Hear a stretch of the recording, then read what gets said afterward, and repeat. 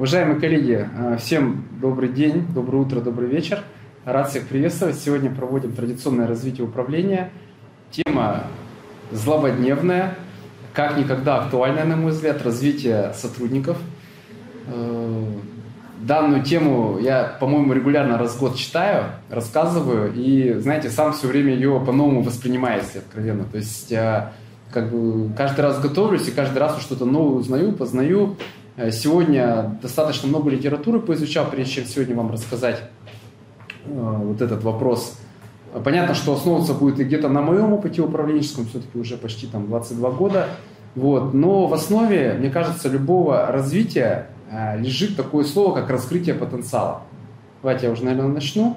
Можно всегда по-разному подходить к развитию. То есть можно подходить, скажем так, с позиции то, что нужно компании, это такое, ну, я считаю, технократическое начало. С позиции того, что нужно самому сотруднику, это, мне кажется, такое психологическое начало, ну, так условно говоря. А, с позиции того, что а, нужно в целом клиенту. Это уже, мне кажется, бизнес-начало такое. Вот. Естественно, что это такая разная э, терминология. Вот. Но истины, как обычно, единой не существует. Да ее и не может быть, наверное, в нашем мире сегодняшнем таком разном. То есть э, суть такая, что сотрудник вначале всегда приходит, скорее всего, заработать денег. Коллеги, ну давайте правде в глаза смотреть. Там, э, не бывает, мне кажется, там, других историй. Вначале это мы видим на интруировании, когда мы делаем э, глубинное интруирование. Знаете, первое время, вот сейчас вот э, сам часто собеседуюсь, э, собеседую, и очень часто говорят на тему, э, ну, какая у меня, какой у меня будет доход, да, э, что, и никто не говорит, а что вы мне дадите, да? а какой я буду с вами вместе в команде профессионал, какие у меня вырастут компетенции, какой опыт я наберусь, какие интересные задачи я смогу решать, э, а сколько я с этими компетенциями буду стоить через какое время. А вообще компания в тренде, она вообще дает что-то новое. То есть, а вообще в ней интересно работать. Или я психологически себя убью, тут умотаюсь за 2-3 года, допустим, да, я потом выжженным лимоном уйду от вас. Вот, мне кажется, сотрудник, который так задает вопрос, это изначально сотрудник другого уровня. И, но это бывает редко, сразу скажу. То есть на моей памяти почему-то решение о принятии на работу э, сотрудником ну, наверное, устраивание на работу правильно будет, принимается вот на основании просто дохода. Я считаю, процесс более сложный. Вот это одна грань реальности. Да? Другая грань реальности, она тоже имеет право на существование. А, как можно достигать результат а, ну, в современном бизнес-мире, так его назовем, да? Достигать можно по-всякому. Можно либо большой инвестиционной составляющей и мощным каким-то продуктом или идеей, и потом это все можно масштабировать. А, можно результат достигать, добиваясь вершины мастерства бизнес-процессов. То есть идея может, ну, скажем, быть средней, так ее назовем, но качество ее реализации может быть сумасшедше классным и стабильным, грубо говоря, и ну, даже гениальным. И это тоже даст обязательно деньги. Вот. А, можно, можно, третий способ, мне кажется, это а, идея может быть даже и, грубо говоря, плохой, но вариативность ее осуществления, таргетированная в каждом конкретном, она настолько конструктором может быть, что каждый там город или каждый там сотрудник, условно говоря, может ее так по-своему интерпретировать, что это тоже будет создавать огромную ценность. Вот. Существуют и различные другие варианты, грубо говоря, в той или иной мере. Но я уверен, все, кто сейчас уже так примерно поняли, о чем я дальше буду говорить вот в этой части. То есть вторая парадигма в том, что развитие сотрудников это напрямую зависит от того, насколько эффективными мы хотим быть. То есть, э, если у вас, грубо говоря, не монополия, а такой полноценный бизнес и сверхконкурентен, долгосрочно вы будете зарабатывать столько, насколько хорошо вы развиваете своих сотрудников. Вот так. А, конечно, кто-то сейчас мне возразит и скажет, а если мы набрали изначально слабых сотрудников?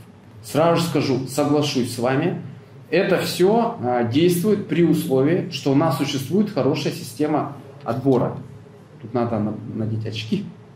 Человек в очках кажется два раза умнее, все это знают. Вот, э, и поэтому э, я думаю, что э, вот это глубинное понимание вот этих моментов, да, множителей, не будет... Качество управления, что такое? Качество управления конкретных управленцев. Да, то есть это они определяют, как это будет, это никто иной определяет. Вот. И теперь вот следующая дилемма, это вот я два аспекта рассказал, одна управленческая дилемма сейчас начнется на уровне обсуждения. Первая дилемма достаточно большая. Что мне лучше, сильных набирать или эффективно обучать? На данный вопрос давно ответила Netflix, Google, мировые все компании, Tesla. Ответ всегда один. Брать лучших и их максимально развивать. Все. Другого ответа не существует. Значит, да, а еще третья там дилемма все знают. А лучше брать дорого или искать их там по крупицам, там, грубо говоря, собирать. А, ну, Netflix говорит на этот вопрос, брать дорого, платить выше рынка. Google говорит, там, нет, отбирать лучших за разумные деньги, плюс-минус, грубо говоря. Вот, э, там российский менеджмент, э, некоторые компании, не будем называть, вообще говорит брать на оклады, вот, нечего там придумывать, ничего, лучше сами к нам придут, э, потому что у нас система такая. Вот, смотрите, дальше мы идем. У нас с вами, у, я думаю, сегодня лекция будет публичная, не только про риэлторский бизнес, а в целом про российский, наверное, менеджмент. И менеджмент, скажем так, бывшего СНГ так назовем, потому что я считаю, что у нас он где-то похож структурно, а, у нас много общего, все-таки 70 лет коммунизма, а, трансформационный период очень такой сложный, он во всех странах был, потому что я сейчас, вы знаете, поездил и вот э, а, в Среднюю Азию, да, посмотрел, посмотрел там ближе, что в Европе, как, как у нас все-таки везде очень сложные 90-е годы, очень сложная трансформация управленческой мысли прошла, управленческих систем, и, к сожалению, где-то только-только вот это, вы знаете, а, расцветает важность развития каждого сотрудника, реализации потенциала сотрудника, важность умения выбрать правильную звезду, важность иметь четкую стратегию, доктрину даже, подберу слово в этом вопросе любой компании, а что мы делаем. То есть мы все-таки про что? Про результат в моменте или про долгосрочное развитие и результат там в, ну, в отдаленном горизонте, но стабильный и системный. И такой, который, коллеги, вот искренне могу сказать, точно в этом убежден – ни один спринтер никогда не выиграет марафон у крутых, у крутых стайеров и марафонцев. Да? Понимаете, это другая система. Бизнес – это забег на очень длинные дистанции. Все спринтеры будут умирать на 20 километре. Нет, не на 20-м, на 10 На 10 они будут сходить с дистанции.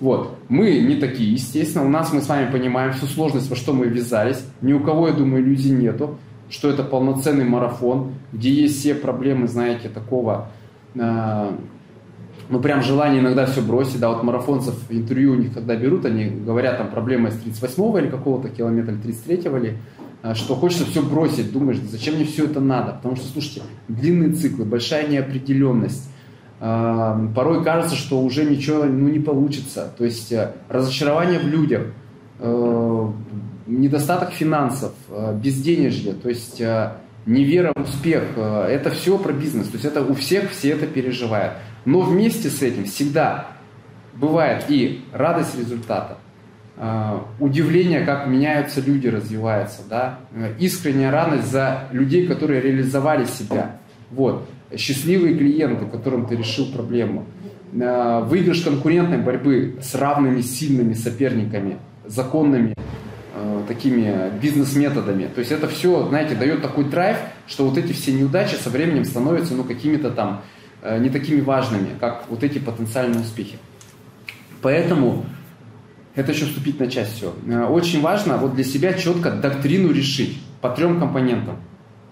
Кого берем, как развиваем, сколько платим. Вот решите для себя эту доктрину. Я всем советую раз и навсегда ее четко определить и всем об этом сказать.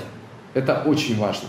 Потому что если вы, допустим, доктрина у вас будет, э, берем средних развиваем, ну, так себе и платим среднее, и результаты будут средние, и ничего не добьетесь, да. Почему? Потому что есть три ключевых фактора. Я сейчас хотел на них подробнее остановиться. Просто вы их пока запомните, как аксиома э, предпринимательства. Первое. Сильные хотят работать сильными. Просто факт. Второе. Один сильный всегда сделает больше, чем три средних и 10 слабых. Всегда. А зарплата его будет ну, меньше. И третья аксиома.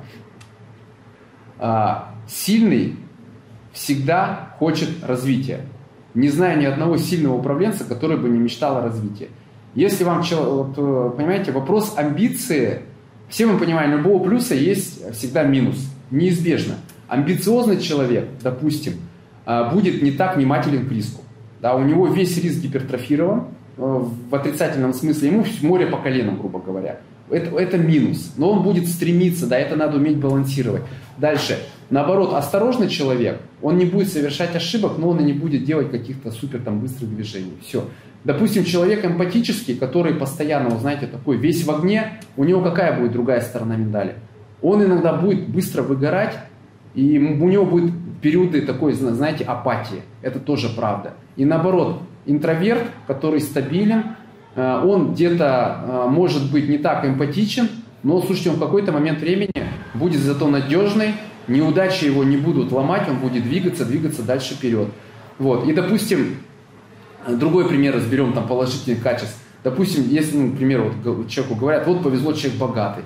А вы знаете, к примеру, ну, это и минусы есть. То есть он а, теряет вот это иногда чувство такого, знаете, такого, ну, азарта, да, вот этого достижения денег. То есть он э, чуть-чуть там где-то тоже у него какие-то, начинаются не те уже проекции работать, там, в плане, он это может сам еще не понимать, но у него бизнес-азарт всегда будет уменьшаться. Плане денег он может заменять чем-то другим, не всегда просто заменяет. Вот. В общем, вот это вот важно определить и понять. Допустим, мы с вами осознали все вот эти вектора, стороны процесса, приняли доктрины, и вот дальше я все буду рассказывать. Мы исходим из того, что у нас как минимум хотя бы лучшие люди работают, нанимают. Коллеги, я сейчас не буду никому рассказывать, но все мы понимаем, я об этом часто говорю, критично важна система найма. То есть э, маленький секрет открою. Если вы себя окружите слабыми людьми, э, через, мой, мое мнение, 6 месяцев компанию не спасти. Вы ничего не сделаете для того, чтобы ее спасти. Это знаете, как, э, ну, грубо говоря, не срастется во веки сломанная ветка, как в песне. То есть э, мы нарушим вот эти внутренние закономерности, взаимосвязи, они потом не срастутся, как, как бы вы сильно уже не делали. Все. Давайте, итак, про развитие сотрудников, вот это вступление, в каком контексте я все это рассказываю, да, теперь переходим к более узкой фазе, вот развития сотрудников. Значит, первый вопрос, который очень важный, на мой взгляд, э, это так называемая цель всегда все должно иметь цель. Это факт просто медицинский, я считаю. То есть то, что не имеет цели, э, никогда не будет иметь эффективности. Это важно. Да, кто-то скажет, что ну, а в природе ведь нет цели. То есть природа, она, помните, вот я говорю, Рэй Далио писал про это, про то, что в природе нет цифр, но все работает. Э, все, грубо говоря, достигает результата, э, и все органично при этом. Это сложно с этим поспорить, но природа устроена уникально до этой степени эволюции, что там, представляете, наш мозг, да, там, ну, книг про это есть. Это же ну, гениально, до сих пор там близко мы к этому не подошли, там близко не расшифрованы секреты, тайны рождения смерти. То есть природа, она настолько сильнее, что пока ее бы я брал просто как какой-то, знаете, аналог, к которому, ну, по принципу подобия надо в каких-то частях стремиться. Э, потому что, знаете, вот, допустим, все мы, когда учимся, к примеру, водить с вами, да, водить учимся, а, мы а, сначала изучаем правила, да, потом едем там, все смотрим, там, смотрим, смотрим, наш мозг, он не готов. Вот. И только потом мы можем, не делая эту работу, спокойно ездить. Вот понимаете, с природой так же. То есть мы где-то э, пока должны создавать какие-то свои цифры внутренней реальности, чтобы приближаться к этому высокому идеалу. В общем, чему цель нужна? Поэтому цель нужна. Нужно ее проговаривать, смотреть и определять. Какая конечная цель является развития? Вот это очень важно. Вот вы не поверите, многие этого не делают. Я считаю, конечной целью развития является повышение эффективности а, субъекта и объекта, ну в данном случае либо управляемого, либо управляемого. Да? Вот. Э, э, это очень важно. А, почему? Потому что иногда, когда пытаются развивать бесцельно, я другой пример приведу, коллеги. Давайте, сейчас это очень важно, я хотел это проговорить. Значит, э, смотрите, вот, допустим, взять уровень цифровизации. Я не знаю, Всемирный банк делал доклад в 2017 году, если не ошибаюсь. Ой, да, в 2017 году. Э, Россия одна из лидеров по темпам цифровизации всего и вся. Да? Вот. Но сказывается ли это положительно на производительности труда? Да, то есть я думаю, многие, кто были там в Америке и там в Европе, удивляются, у них меньше в обычной жизни автоматизации. Но это правда, коллеги, мы сейчас далеко вперед ушли. Но производительность труда это не сильно помогает. Вот. Интересно почему? А, потому что цифровизация есть на уровне пользователей, да, хорошая, но она, ее нет на уровне бизнесов, такой же мощной цифровизации. Вот. Дальше идем. Э, кто один из лидеров в мире по обучению? Кто больше всех э, людей, где людей больше всех с высшим и средним образованием? Э, Россия одна из лидеров. По производительности находимся ли мы на самом высоком месте? Нет, не находимся. Но если брать доп. образование, мы отстаем. То есть мы уже, мягко говоря, не лидеры. То есть, а лидируют вот, страны, которые лидируют производительность труда. То есть у них все образование нацелено именно на функцию результата. То есть, вот, допустим, условно говоря, давайте я пример приведу. Если условно производитель чипов в Таиланде, вот, э, кто там, допустим, инженер занимается, вот ему прям целено, я прям сам это видел, ему не кто собирает, там понимаем, другая компетенция, да, нужна, там нужна скорость там или там по заданным, а вот именно кто все это разрабатывает, понимает, снижает, все знают, что производительность там полупроводников в два раза каждые, по-моему, два года увеличивается, мощность и так далее. Ну, то есть там реально очень мощнейшая идет именно наукоемкие процессы, вот все вот инженеры, которые это делают, знаете, у них как выстроенное обучение, они все там, у них там, извините, высшая математика, там, изучение материалов, они постоянно, им 25, 30 лет, им 50 лет, он постоянно развивается, он ездит по всему миру, он смотрит, он там только работает там 40% времени, 60% времени он черпает эту информацию. Вот. Он решает кросс-функциональные задачи. То есть это совершенно другая система. Давайте нас возьмем. А, настолько ли у нас сотрудники а, столько ли время они уделяют развитию. Да? Там, ну, может быть, там, давайте, я э, цифры так не нашел, серьезно, нет таких цифр, сколько в среднем в России, там, в средней компании сотрудник обучается. Почему-то, ну, может, плохо искал, вполне возможно, они есть. Вот. Э, и цифры маленькие, то есть э, маленькие объективно цифры, да, то есть у нас есть компании, которые, допустим, большие, которые объявляют пятницу днем развития обучения. То есть есть такой пример в российском менеджменте. Они говорят, ребята, в пятницу на работу нельзя. Читайте книги, сидите дома, ездите там по другим городам, изучайте. Вот, черпайте новое, потому что ну откуда вы все это сделаете. Вот. Переходим дальше. Это достаточно, ну, вот, такой первая вступительная часть для понимания, почему это сложно. Да? Дальше. А, насколько ментальность наша в целом способствует развитию. Коллеги, ну, тут все знают. А, есть поговорки. Русский Иван, который на печи сидит, правильно? Грубо говоря, фольклор, что называется наш. Там же много про это, про лень, про вот это вот все, что там э, не хотят развиваться. Еще там много различных примеров есть на эту тему.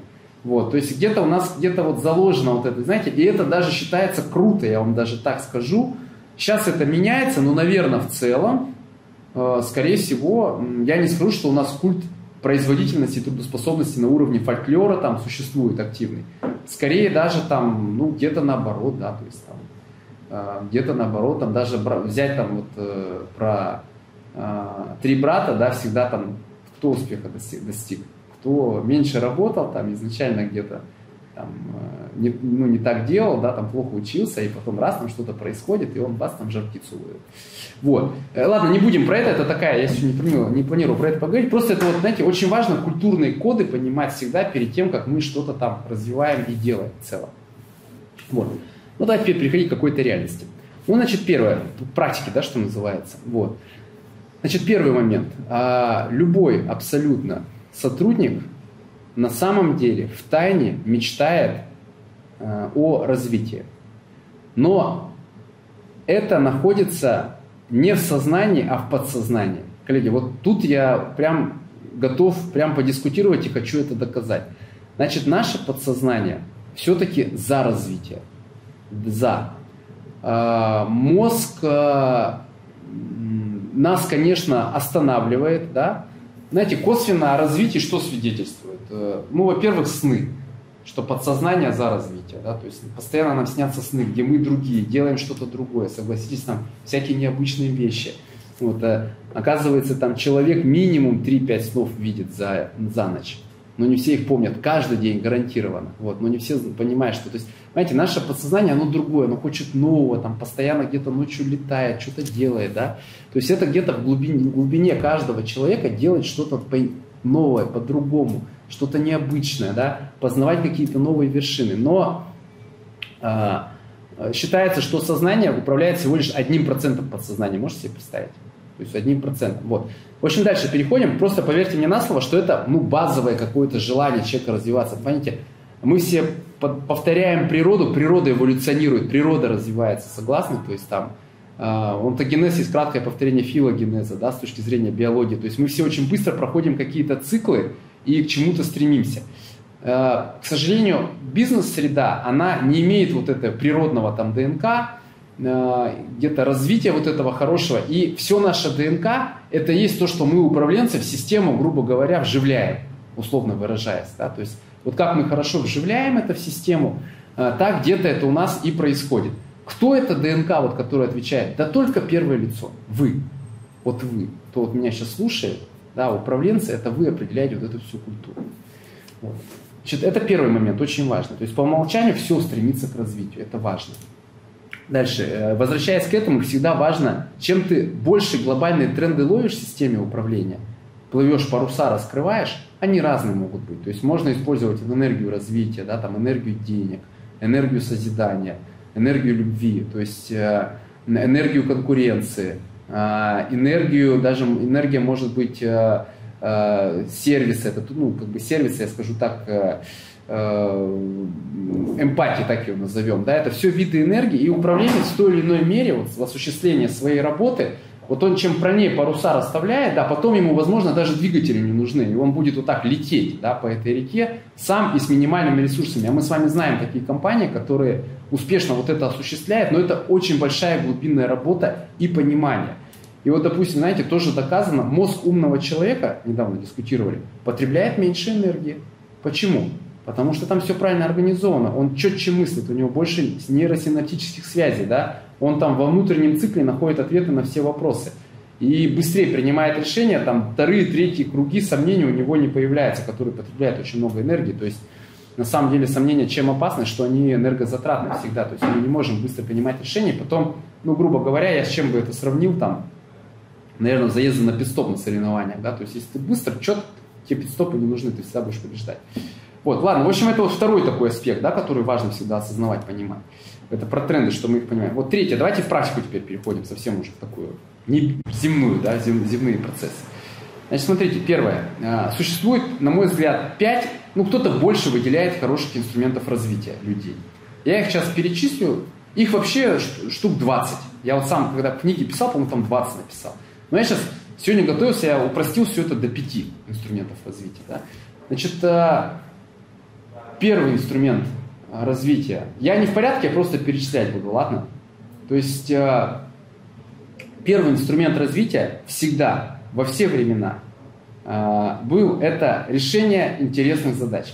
Коллеги, всегда, запомните, кто бы вам не рассказывал сказки про чтение книг, литературы, бизнес-тренинги, только практика способна реально развивать человека.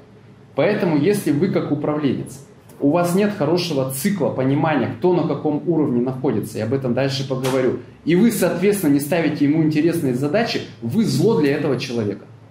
Да?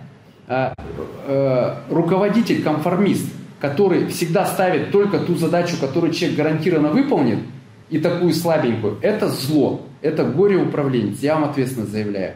Коллеги, сильный руководитель всегда задачу поставить чуть с натягом, грубо говоря, он всегда будет допускать, что сотрудники на ее может не сделать, и более того, он будет понимать, что если он из 10 задач сотрудник все 10 сделал, значит это что-то не то, грубо говоря, да. То есть из 10 задач сотрудник должен делать 8-9 задач, а одну он должен не сделать. Это его разовьет как личность, сделает сильнее, да. Я могу про себя расскажу. А, я всегда ставлю амбициозные задачи сотрудникам, да. Они из-за этого иногда, прямо скажу, иногда нервничают, а, переживают, да, вот, значит, э, э, думаю, что все плохо, но они развиваются. И они это ценят, и вот все знают, что ну, люди, как правило, вот, по крайней мере, я скажу за себя, со мной долго работают. Очень долго, да, всегда. Вот. Э, дальше. В этом я чуть-чуть про каждый аспект порассказываю, да. Значит, это сложно. Почему? Потому что для того, чтобы сотруднику поставить вот эту сложную задачу, нужно кучу энергии самому понять. Одно дело, вы уже сверхбывалый управленец, и вы быстро это чувствуете, да, а попробуйте почувствовать. Я вот серьезно говорю, вот, знаете, для меня это сложный вопрос до сих пор. То есть я, допустим, вот, э, давайте пример, там, без, без имен назову, вчера буквально была задача, я сижу, напротив меня сидит человек, я сам, честно скажу, 10 минут сидел в голове, там, размышлял, ему все-таки поставить задачу вот с этой целью или вот с этой. Я ему 10 минут вот так вот его по-всякому щупал, знаете, там это, изучал, изучал, потом думаю, нет, не готов еще, точно сейчас сломаю, хотя бы вот, вот эту поставлю, но себе галку поставил, в следующий раз я ему сильнее задачу поставлю. Я как бы сейчас просто испугался, что его совсем сломается, вот эту задачу поставлю, да, и думаю, нет, ладно, чуть откачу, сюда сделаю. Это нормально. Значит, это и есть развитие. Да, я сразу скажу, я управленца всегда проверяю эту компетенцию. Я, когда определяю качество управленца, я все знаю, когда захожу с аудитами, у меня всегда первый вопрос, я говорю – а, расскажи мне пять задач последних, которых ты ставил своим подопечным, так назовем. То есть дальше я спрашиваю цель каждой задачи. Мне обязательно, я хочу услышать, ну сейчас понятно, публично об этом говорю, уже все это будут говорить. Я всегда хочу услышать, что одна из целей этих задач – развитие сотрудников. Да, и как это все даст. Потому что э, сильный управленец, он все-таки про развитие других. Он как бы себя отдает, он где-то способен даже иногда пойти на жертву в моменте риска недостижения результата, но люди будут развиваться и долгосрочно выиграть. В общем, второй важнейший элемент развития, коллеги, это ответственность. Это самое такое, ответственность же она какая? Невидимая. Ее уже не видно, да? То есть э, сейчас вот я вам скажу, а составьте карту ответственности вашей компании, в вашем городе. Да, кто за что отвечает вообще? А, и ментально, материально я вообще молчу, это вчерашний день какой-то, какая-то материальная ответственность, да? Я имею в виду ментальную ответственность, то есть ментальная. Вот, допустим, условно говоря, э, завтра, не дай бог, вы в минуса начнете работать, да? А кому от этого? А кто это вот на личном уровне, вот тут сердце у кого заболит? У вас, понятно, заболит. А у кого еще? Да? А может быть, человек такой сильный, у него не заболит, но он так будет стержнем стоять, да, что называется, до последнего, чтобы этого не произошло. Ему будет не все равно. Так вот, умение привить сотруднику ответственность – это мощнейший инструмент развития. Слушайте, только тогда, когда ты за что-то отвечаешь, а, ты способен развиваться, и ты весь цикл проживаешь полноценный. Вот говорят, за одного битого двух небитых дают. Да? Вот, почему? Это, это правильная поговорка, потому что когда человек прожил полный цикл, он сильнее, у него мультипликатор 10. А мы что иногда делаем? Сотруднику передаем задачу, но кроме мотивации, коллеги, знаете, я ничего никогда не имею против мотивации. Все знают, я люблю мотивационный менеджмент. Я считаю, нужно всегда в партнерстве работать. Сотрудник должен получать, если выполняет. Но не забываем про ответственность. То есть мотивация – это что такое? Это мне дали деньги за то, что я, может быть, и не хочу, но я хочу деньги. Да? А ответственность – это что? Я реально хочу сделать то, что мне сказали, даже если мне за это не заплатят. Потому что для меня это важно. Вот сильный управленец управляет ответственностью. Вот, в управлении с высокого уровня. И он тем самым сильно развивает людей. Поверьте, когда человек же что-то сделал за деньги, но это чуть не то. Грубо, конечно, но правда. Вот, э, когда это сделал искренне от себя, так вот, умейте управлять, вот, чтобы люди вот чувствовать вот это, да, вот это тоже развитие человека, понимаете? Э, дальше, инструменты, давайте передачи ответственности сразу же с вами проговорим, это важно, я считаю. Значит, э, там несколько достаточно простых инструментов. Самый простой, конечно, инструмент – это первое – понимание важности данной задачи. Коллеги, я всегда всем говорю, проводите встречу какую-то, да, то есть рассказали, зачем надо, почему это нужно. Можете на это 40 минут потратить. Я недавно 40 минут объяснял одному там сотруднику минус 4 от меня, зачем это нужно. 40 минут объяснял. Вы знаете, он понял. Он через 40 минут ко мне говорит, слушайте, Дар Борисович, вот у меня искренне за 40 минут мир поменялся, я реально хочу сделать эту задачу. Ну, мы с ним так не в плохих личных отношениях, грубо говоря. Он говорит, что 40 минут назад я считал, что что вы от меня тут хотите, ерунду какую-то, хотел саботировать задачу. Сейчас вы понимаете, ну вот это стоило, я считаю, 40 минут своего времени. Знаете, сотрудник сам того не понял, он развился на три ступени за эти 40 минут. Потому что он понял эту задачу, он по сути перешел, честно говоря, на мой уровень, вот, который понимал ее важность, просто надо было весь этот цикл прожить. Вот, э, то есть первое это личный диалог, мы всегда не дорабатываем. Я всегда говорю, с, смысл имеет огромное значение. Без смысла э, все может превратиться в пустоту, в ноль. Да? То есть когда есть смысл, у тебя другие коэффициенты сразу.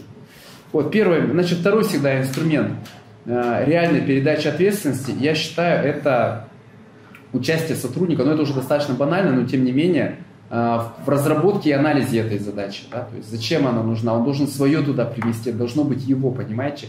Частичка его должна быть этой задачей. Поэтому мало объяснить смысл, нужно его туда привлечь, чтобы он проговорил Вот, э, ну, я про себя, наверное, только имею право рассказывать публично, да, скорее всего, поэтому тут, наверное, много про себя буду рассказывать. То есть для меня это очень важно. Я вот когда какую-то задачу сделаю, я пока вот, не, для себя четко не решил, что вот эта задача, результат продукта и моя, и его, и мы сейчас обсудили, все решили, и вот эта задача, которую он принимает, как этот продукт, и ее готов сделать, да, подписаться, вот тогда только будет ответственность.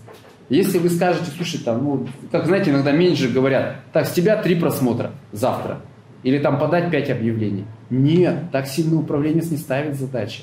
Он весь цикл рассказывает, зачем это надо, как он это видит, понимает, не понимает, да. То есть это вот э, и есть то, что, ну, критично важно, грубо говоря. Вот. А, и третий такой действенный, я считаю, хороший инструмент передачи ответственности, а, это все-таки как я условно это назову, отчетность да, и обратная связь. То есть сотрудник должен понимать, что будет наряду с выполнением задачи. То есть это, конечно, уже из, техно, из области технократии управленческой, так это назовем, ну, технологичности, но совершенно объективно. Если вы просто говорите задачу, но не говорите, как вы ее будете принимать, вы в ответственности проигрываете. Да, то есть это очень такой серьезный момент. Вот. Э, в общем, давайте так, время мало, да, что-то быстро время идет. Значит, второе, вы запомнили, это ответственность, метод, э, скажем так, да, э, вот, наряду с развитием. Значит, третий, очень действенный метод для развития любого человека – это обучение других людей. Значит, посмотрите внимательно, как часто ваши сотрудники обучают и развивают других. Вот серьезно. Вот смотрите, недавно, давайте расскажу, с другим бизнесом, не с, не с этажами, не с нашими, мне приходит один, он говорит, у меня такой крутой управленец, такой звезда. Я говорю, класс, э, давай посмотрим, что он делает. Говорю, слушай, а как он других развивает? Почему ты считаешь, что он крутой? Он говорит, ну как? Он говорит, как развивает? Говорит, не знаю. Говорит, я говорит, никогда не задумывался об этом, как он других развивает. Я говорю, а что у него, люди там вокруг него? просто получают большие деньги, или они все вместе способны решать задачи другого уровня, грубо говоря, в горизонте год, условно выражаясь. Вот, ну и все. Он говорит, ну, не знаю, не знаю, слушайте, да, действительно интересный вопрос. Так вот, лучшая ответственность для человека – передавать ему ответственность за других людей, за их развитие. Вот это, я, можно сказать, под конем, с одной стороны, а с другой стороны, это правда. Вот. И когда ты развиваешь других, у тебя столько ответственности появляется, это просто не передать словами за то, что ты делаешь. У тебя сразу же мир меняется. Знаете, есть там поговорка, что э, когда человек э, обучает кого-то, больше всего развивается кто? Не тот, кого обучает, а тот, кто обучает. Потому что для того, чтобы подготовить материал, понять что, да, неважно, это просто обучение или это on-job education, так называемое, обучение на рабочем месте – Слушайте, это требует другого подхода. И поверьте, это неимоверно другой уровень. Вот у нас, знаете, сейчас расскажу про наши профильные департаменты. А, некоторые а, умудряются хорошо развивать своих, читают там свои часы управления, да, там с гембами выходят, там все это смотрят, ну, рассказывают.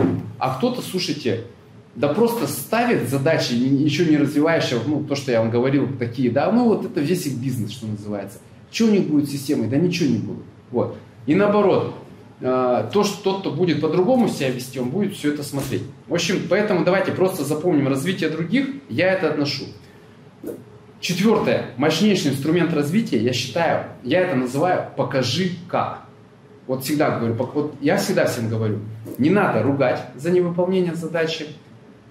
Критика и похвала – это такой вопрос, я его постараюсь обсудить сегодня, да, если у меня время хватит. Но в целом я больше, зато я говорю, расскажи, как сделать. Вот лучший тип развития – это сотруднику показать, как сделать. Да, вот, допустим, э, не то. я вот часто, знаете, то вот со мной работает, я люблю вопросные технологии. То есть э, э, я считаю, что это самый такой правильный формат вообще ну, работы по развитию, потому что это все-таки позволяет сотруднику самому принимать решения, развиваться, задумываться, да, но с подсказки, грубо говоря. Вот. Я это отдельно не считаю пунктом развития вот эти все собеседования. Я как бы сейчас в контексте э, показать как. То есть это ты косвенно должен показать, сделать, но ты должен вместе с сотрудником к этому прийти. Да? Вот смотрите, давайте пример приведем, э, чтобы нам было интересно. Э, ну, работу, давайте кого рассмотрим. Давайте маркетолога, да, к примеру. Мы говорим, слушай, мы тебя ждем такого-то, такого-то результата. Если задача амбициозная, да, это, я, как мы уже обсуждали, это первая задача, и это разовьет его. Но какова вероятность, что он ее сделает? Хорошо. Да? То есть какова вероятность? Ведь есть вероятность, что если вы пока начинающий управленец или неопытный, вы дали изначально задачу, которая ну, не осуществится, грубо говоря. Вот. И функция в этом случае развития будет отрицательная. Потому что все знают, ничто так не демотивирует, как 3-4 подряд отрицательных результата. Я даже в одном из городов недавно открывались, я говорю, ребята, давайте сделаем меньше комиссию на старте. Потому что, представляете, говорю, новичок заходит, вот он раз, два, три, пусть, он, пусть даже комиссия будет 6 тысяч рублей. Серьезно, мы недавно на полном серьезе внутри обсуждали, пойти там в убытки большие в начале, но, допустим, разрешить работать за 6 тысяч рублей, а, для того, чтобы люди, ну, просто очередь у них была, да, и они получали вот эту а, положительную динамику и оценку, ну, грубо говоря. Вот. Это еще психология до конца неизвестно, что лучше. То есть, э, пример там, к примеру, ну, э, ладно, не будем про это, то есть тут есть нюансы. В общем, коллеги, здесь вот это главное э, запомнить, там, э, проанализировать в этом аспекте. И все-таки, э, когда вот мы пробуем вот эти процессы, они происходят по-другому, да? Так, дальше пятый, мощнейший, просто времени мало, вынужден сокращаться, чуть не подрасчитал, честно, время, хочется все рассказать. Значит, пятый, да, все-таки вернусь еще, давайте чуть добавлю. Э, структура вот этого, показать, что нужно делать, это очень важно. Да, это сложно, это нужно самому, слушайте, но это развивает. То есть это развивает. Поэтому я про себя скажу, я когда вижу, что сотруднику что-то не получается, я всегда беру задачу и рассказываю ему, как ее нужно сделать. Все. И прям могу на это потратить много времени. У нас иногда встреча может 40 минут продолжаться, мы вместе э, делаем то, что он должен был сделать. И я ему показываю как. Я всегда показываю, какие он ошибки совершил Э, да, кто со мной близко работает, знает, я критикую часто, но критикую э, по делу, безэмоционально. То есть говорю, ребята, я считаю, ты должен был сделать где-то это и это. Я тебя ждал того, того и того. Э, ты мог получить такой, такой результат. У тебя ошибка была в том-то, в том-то и том-то. Это правильно, это нормально, это развивает. Значит, бойтесь сотрудников, которые не критикуют своих подопечных. Это страшные люди. Это конформисты. То есть это люди, которые никого не разовьют, не сделают людей лучше. И наоборот, не так критично смотрите на тех, кто указывает ошибки, дает обратную связь объективную. Конечно, надо на эмоции не переходить, но тем не менее. А, а, могу пример, вот даже я ошибаюсь неправильно, сейчас вот не напал, да, там немножко недоволен, и как бы я считаю, ну как бы сверх нормы перекритиковал ее, да, тем более публично, конечно, это неправильно, это недопустимо. Вот. Э, но э, э, суть, э, она на самом деле такая здравая, да, что надо все-таки всегда говорить, когда что-то не то и не так. Это я считаю нормально. Вот, в общем, здесь коллеги разобрались, и это тоже развитие. Вот это и есть развитие людей, да. Просто, знаете, с кандидатами общаюсь, я говорю, как вы, расскажите, как вы развивали сотрудник, сотрудников на предыдущем месте работы. Они, знаете, мне все как под копирку говорят книжные клубы, конференции, э, тренинги туда-сюда. Я говорю, ребята, это не развитие, это времяпрепровождение. Вот. А развитие это другое. Все. Значит, пятый мощный инструмент развития, э, с моей точки зрения, значит, э, э, это, как ни странно, э, совместное целеполагание. Вот так скажу. Это не задачи. Вы знаете, попытаюсь даже объяснить, почему я считаю, что это так. Задача – это вопрос, э, наверное, операционного менеджмента, тактического. Целеполагание – это глобальный вопрос смыслов, что ты делаешь. Зачем ты это делаешь, как ты это делаешь. Это важно делать в диалоге. Вот у меня есть очень большие сессии, когда я вместе с человеком, это может продолжаться час и даже два часа. Мы договариваемся, что мы делаем и зачем. Для чего? Что это даст компании, что это даст ему. Э, вчера у меня был диалог с одним из сотрудников. Значит, э, я ему, мы, он мне там, значит, там обсуждали. Я ему говорю, слушай, давай вместе поговорим, зачем нам это надо. Да? Я говорю, давай я тебе честно расскажу, зачем мне это надо. То есть, зачем я тебя прошу вот это. И знаете, все рассказал. У меня ушло на 30 минут. Теперь я говорю, давай мне расскажи, зачем тебе это надо. И знаете, когда он мне рассказал, у меня душа в пятки ушла. Потому что он с таким целеполаганием, с таким смыслом этого целеполагания, я уверен, ничего не сделает. А если сделать, мне ничего этого не даст. Мы с ним в деталях разобрали. Э, я, к сожалению, не могу говорить, да, потому что у нас там еще переговоры идут. Э, как бы жаль, конечно. Ну, я так в общих чертах, ладно, мы, я ему рассказал, слушай, что тебе даст эта должность, да, если ты будешь делать, какие ты будешь задачи решать, э, как ты разовьешься, почему ты станешь сильнее, как это повлияет на другую твою жизнь, потому что работа – это продолжение личности. Коллеги, давайте не питать иллюзий. Развивая человека на работе, мы развиваем его как личность. И это, если время останется, я про это поговорю обязательно. Да? То есть и люди должны это ценить, потому что э, все, много фильмов есть различных про тренеров, которые реально достигают результата. Они все, знаете, не такие, не лапочки-дочки, что называется. Да? То есть они такие про стремление, про такую, знаете, энергию, про одержимость, да, да, кстати, фильм есть такой одержимость. Вот, то есть они вот про это, наверное, и, наверное, глобально люди, наверное, хотят видеть таких тренеров, да, то есть если я сейчас о, о тренере заговорил и сравнил бы управленца с тренером, то, наверное, я бы там, ну, несколько аналогий сразу же привел. Первое, какая главная особенность тренера? Ему не нужно делать хорошо самому. Многие великие футбольные тренера футбол играть не умеют, пинают плохо мяч.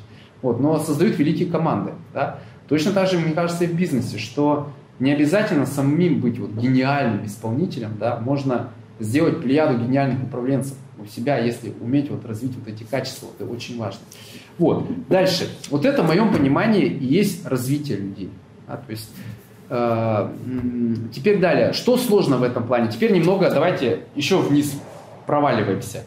Ну, первое – это финансовая составляющая. Да, все-таки мы про бизнес, про какие-то процессы, и финансовая составляющая – это очень, ну, мне кажется, важный аспект. Так вот, развитие – это всегда, а, сейчас многие удивятся, но это правда, дешево. Да? То есть развитие – это всегда дешево. Но развитие – это всегда наукоемкий труд.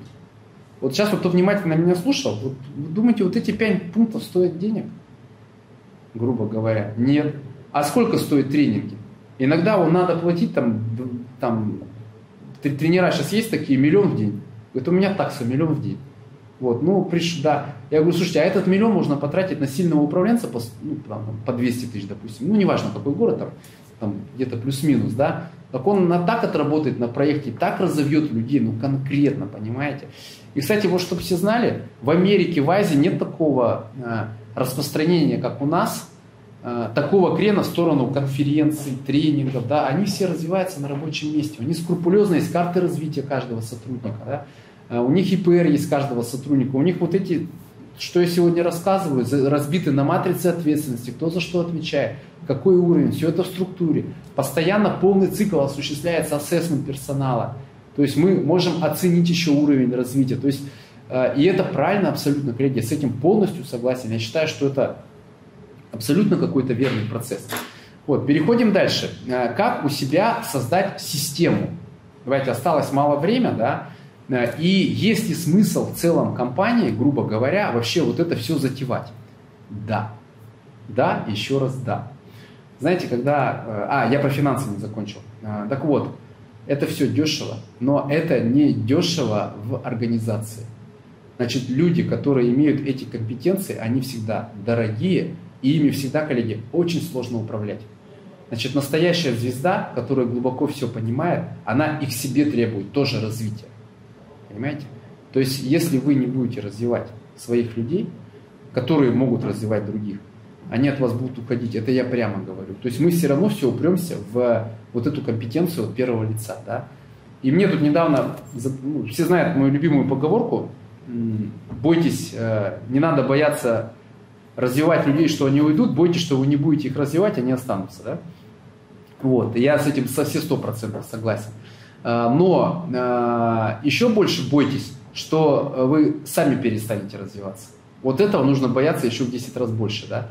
Вот, я на эту тему много говорить не буду, все знают, я специально читал э, развитие управления для вас, для всех пытался донести. Я дальше хотел, теперь э, от финансов отходим, то есть там длинный цикл просто инвестирования, он больше связан с наймом людей, таких компетенций, прямое требование этой компетенции. Недавно делал аудит одного из городов, значит, э, и я поставил городу двойку только за один параметр.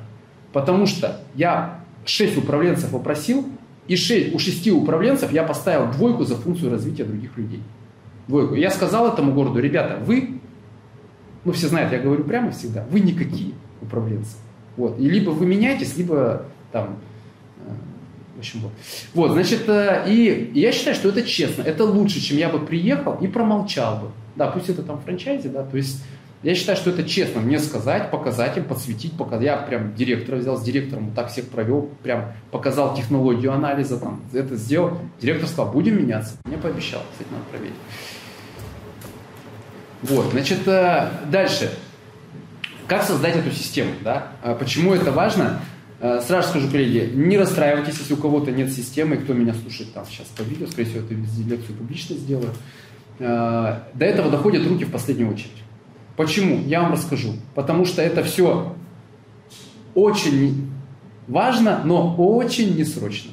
Да? Все знают, там у Черчилля, у кого там четыре было, а я еще третью всегда добавляю. Очень несрочно, еще есть крайняя степень, да? А там действительно самые ценные вещи происходят. Вот как раз там эта функция развития будет, потому что, слушайте, да перестаньте развиваться, да вы год будете нормально работать, ну, город будет, да? А вот когда мы говорим о длинных циклах, и вы хотите в длинную, в горизонте 10 лет иметь большой системный бизнес, вот тогда надо сейчас начинать уже в этом плане инвестировать. И по-другому всю компанию перестраивать и смотреть. Дальше. Несколько еще положительных моментов развития. Хотел попродавать идею да, окончательно. Значит, первое. А, только развитие даст вам инновационность долгосрочную. Потому что, смотрите, инерционность дикая у бизнеса. Коллеги, знаете, она дикая.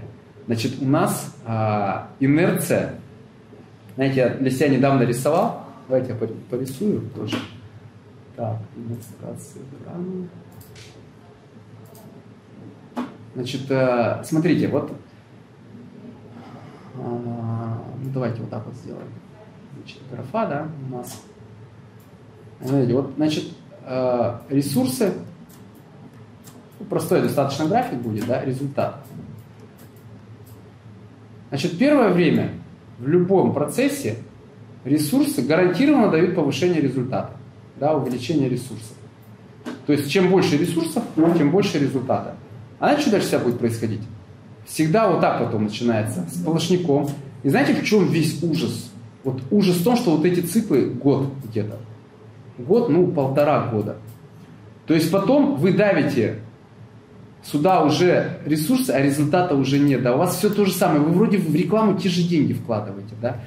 Вы вроде нанимаете сильных сотрудников. Вот. А, вы вроде там даже круче мебель теперь покупаете, да, там теперь у вас все там красиво, ё-моё, что называется. Вот. А ужас то, и одновременно это же и прекрасно, да, что а, а прибыль находится где-то вот на этих уровнях примерно. То есть она такая, прибыль весь жесткая, она же конкуренция, она требует всегда более эффективного использования ресурсов. Да? И если здесь у вас, у вас была, вы хорошо росли, и у вас была чистая прибыль, да, то вот в какой-то момент вы будете терять. Вот в этой инновационности вы будете все так же тратить ресурсы, но прибыль будет оставаться без вас. Вот эта часть. Вот это исключительно зона развития. Я ответственно заявляю, оно коррелирует только с тем, какая у вас система развития в компании. Но это летний цикл, это годовые циклы, это 2, 3, 5 лет. Да? В результате некоторые города в какой-то цикл, вот в эту зону попадают не развитие, падают финрезы, маржа, а в основе лежит то, что мы где-то перестали развивать систему и людей в системе. Дальше, э, заключение, да, у нас дело к концу подходит. Несколько слов про текучесть. Мы очень много изучаем текучесть, да, и во всех разрезах, почему она происходит, а, что это за явление природы. Вы знаете, реально в основе текучести всегда идет недостаток функции развития. Любое профессиональное выгорание – это, а, грубо говоря, переворачивая, сотрудник говорит, я больше не развиваюсь. Да?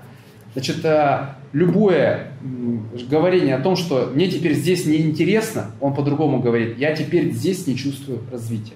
То есть он говорит это, каждый говорит это своими словами. Следующий, третий по популярности акцент. Мне теперь платят мало денег, он говорит, я выполняю такую работу, которая, э, ну, у меня компетенции хватает только на это. Я хочу выполнять другую, более высокооплачиваемую работу. Я хочу развития. Да, это тоже важно понимать. Вот. И, следующая причина еще текучести, которая часто говорит, у других лучше. Это значит, у других я буду развиваться, делать другую работу, получать больше денег. Да. Вот. И э, заключение, вот у меня сегодняшняя тема была, хотел еще такой блок осветить, большой, и мне кажется, он очень важный. Когда развился человек, всегда нужно уметь менять ему мотивацию.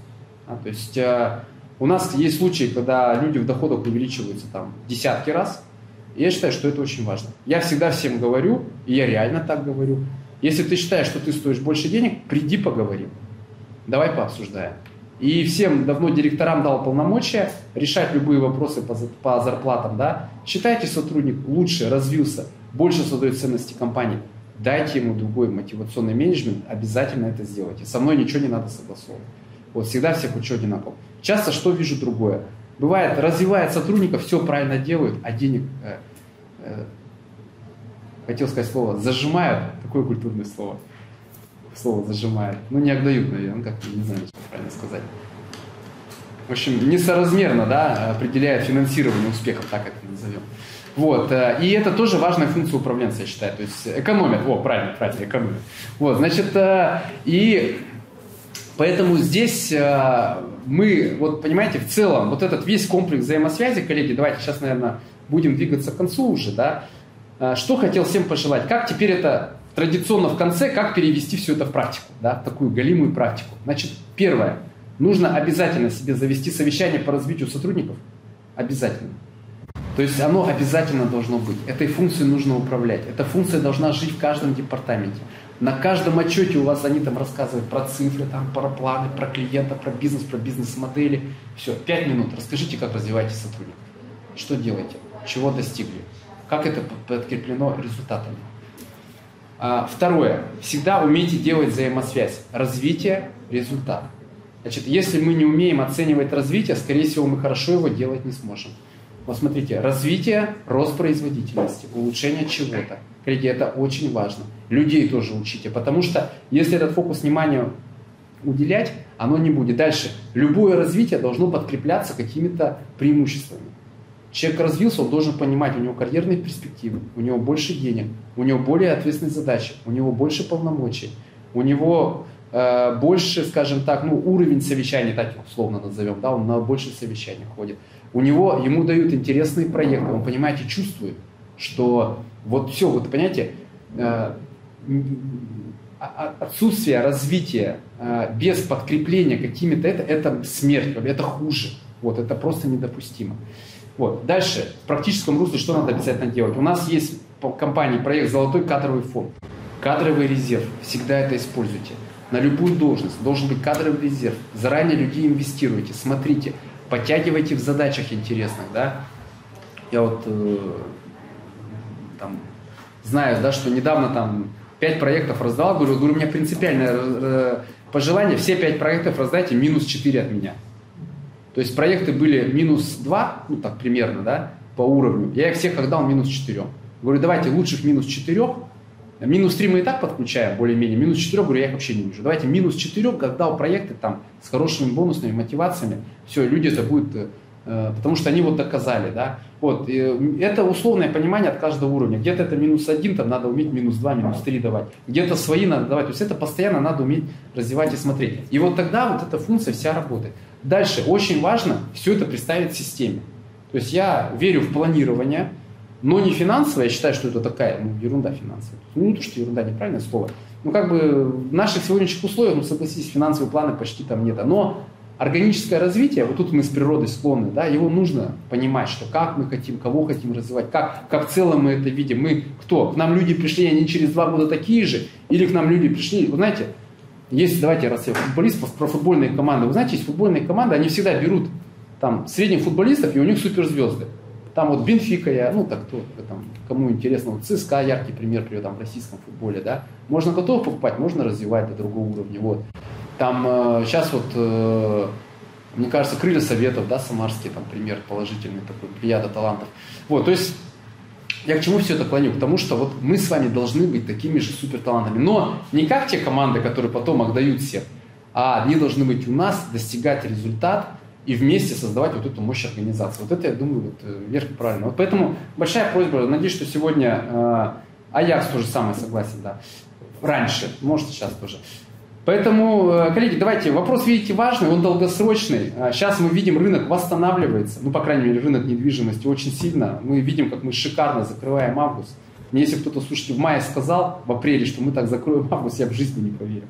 А, то есть у нас по предварительным данным будет выручка больше, чем выручка август прошлого года. Мне кажется, это пятерка, твердая, что называется. Вот. Э, так что всем хорошего дня, большое спасибо за внимание. До свидания.